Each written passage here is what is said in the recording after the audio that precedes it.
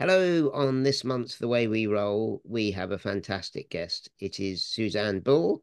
Um, Suzanne, what do you talk to us about?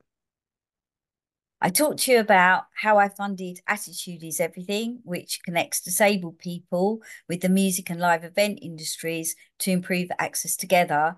But I also open up and talk about my breast cancer diagnosis, which threw me a huge curveball in March 2020. So both aspects of Suzanne's life are fascinating, and we urge you to take a listen.